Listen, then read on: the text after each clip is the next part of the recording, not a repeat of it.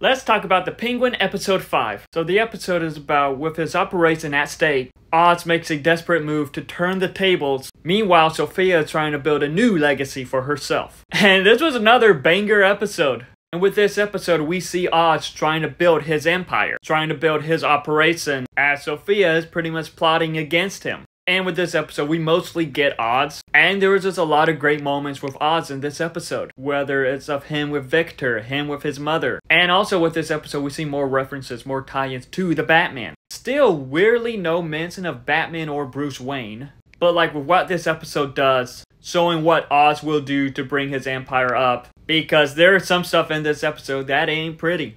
There are some Sofia moments in this episode that probably aren't pretty either. Like with this episode with the series so far, the acting is just phenomenal. And there's just a lot at stake. Oz is still pretty much the little guy in the operation compared to the other two big families. And it's going to be interesting to see when he gets up there with them. And this is what this episode continues to set up. And I cannot wait to see what they do with the next few episodes. Overall, episode 5 was another great episode in the series. But have you seen the Penguin episode 5? If so, what are your thoughts on it? Let me know in the comments below and follow me for more.